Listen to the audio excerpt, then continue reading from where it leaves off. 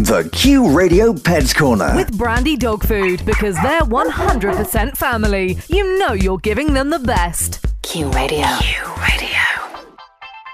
Welcome to Pets Corner with me, Sharon Jennings. Now, coming up in today's show, we talk to our local animal sanctuaries, the Mid Antrim Animal Sanctuary and the Rainbow Rehoming Sanctuary. And as it's coming up to Christmas, we hear about their Christmas fair and also why it's important never to buy an animal as a Christmas present. The Q Radio Pets Corner. Now, here in Northern Ireland, we're very lucky with the animal sanctuaries we've got and the fantastic work that they do. And joining me is George Anderson, who's the chairman of the Mid Antrim Animal Sanctuary. George, you're very welcome. Thank you. Now, Mid Antrim, it's been going for a long time, George, and you've been involved with it for a long time. I have. The sanctuary has been going since June of 96.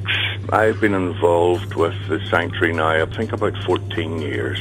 And George, what's it like coming up to Christmas at the sanctuary? It's always a busy time. What can happen at times is that some people decide, oh, they're going to get a, a new dog, a puppy for Christmas. This sounds terrible, but they may have an older dog and decide, we don't want the old dog anymore, we're going to get a puppy. So get rid of the older dog. That's incredibly sad, isn't it? It is. It is so sad. I suppose from the positive point of view, George, what you do at Mid Antrim is rehome animals. You know, we see lots of fantastic stories coming out of Mid Antrim where all of the dogs will be rehomed. Well, this is our ethos. It's uh, no healthy animal is put to sleep. Any dog or cat that comes to us if it is healthy and its quality of life is good, it will either stay with us for the rest of its life or we will do our best to get it into a forever home. George, like all of the sanctuaries, you depend on donations and you depend on fundraising to keep a roof over your heads and the animals' heads. And I know that you've got a big Christmas fair coming up on the 14th of December. That's right, yes.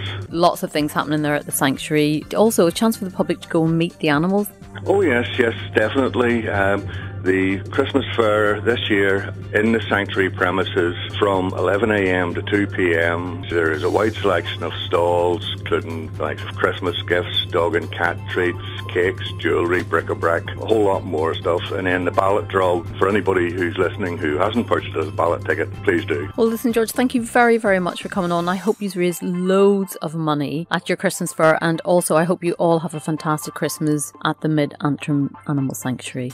Thank you very much indeed. The Q Radio Pets Corner. With Brandy Dog Food because they're 100% family. Remember, Brandy Dog Food has teamed up with Stena Line to give away 50 return crossings to the UK for your car, dog, and four passengers. Pick up special promotion packs of Brandy and enter at brandydogfood.com or on Facebook. The Q Radio Pets Corner. With Brandy Dog Food because they're 100% family. Now, I recently caught up with Joanne Mullen from the Rainbow Rehoming Centre in Derry, Londonderry, and she explained why it's never a good idea to think about getting an animal as a present coming up to Christmas. We do always worry around Christmas, the weeks after Christmas, are more telling it's when the novelty has worn off and the work of a pup has become clear to people and they can be quite regularly discarded. We do dread the aftermath of Christmas we don't rehome animals as presents full stop. You know, Christmas presents, birthday presents, um, surprise gifts. We just absolutely don't do it. It's against our policy here. And we would urge anyone thinking of getting a, a pup or a kitten for a Christmas present as, you know, the Dogs Trust saying a dog is for life, not just for Christmas. You know, it's one that we've been listening to for years and it's never changed. The lifespan of a dog, 15 years.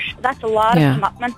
It's a lot of effort to put in to a loving creature that you're bringing into your home. And of course, Joanne, if you say if you can give that commitment and time, it is one of the most fantastic relationships you can have. Absolutely. I mean, dogs are 100% rewarding. They're amazing additions to the family. I think they're fantastic for children. They're fantastic for children to learn about responsible pet ownership, being compassionate and not cruel to animals. It's very important for children to have that bond with an animal growing up. Too often we find in rescue that a problem comes up and the first thing they do is phone a rescue, phone a pound, try and get rid of the dog. You know, you need to take on the problems and work through it as best you can as well. And you all get that loyalty and love back from the dog. Absolutely, Joanne. Listen, Joanne Mullen from the Rainbow Rehoming Centre, thank you very much. And if anyone would like to make a donation, you can find the centres on Facebook and you've got a website as well, Joanne. And listen, good luck. And I hope you aren't overwhelmed after Christmas and I hope you get lots of donations up until then. Hope so too. Thank you very much, Sharon. The Q Radio Pets Corner. With Brandy Dog Food because they're 100% family. You know you're giving them the best.